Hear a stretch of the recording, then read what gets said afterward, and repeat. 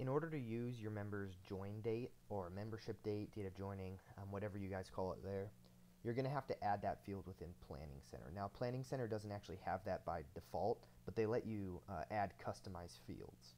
So first, let's click on the Services dropdown and click on People, and then again, click on People in this top navigation bar.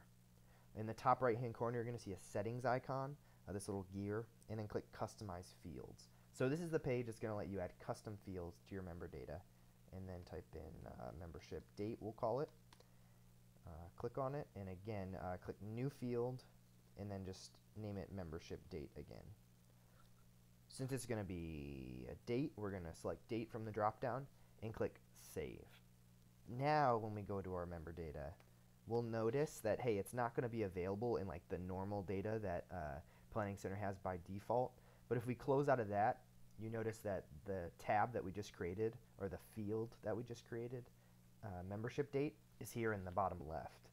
So for any member, now you can add a membership date. So I'm going to click Edit Answers, select a random membership date. Let's say it was two years ago around this time. Click Save. Cool. So now it populated as the membership date of September 5th, 2018. We'll just go back to Planning Center, or go back to My Tool, excuse me. Click Import from Planning Center. So this will take a second, um, but if I go to this member, you'll see hopefully, yep, their membership date, September 5th. Um, I also added in that in, a in the directory settings. So if you scroll down, um, you can say, yep, I want to show membership date. Submit those changes.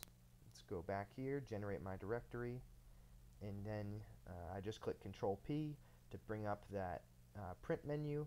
And as you can see in Christian Booth, it might be a little hard to see. There's the, the date of joining uh, on that on that line.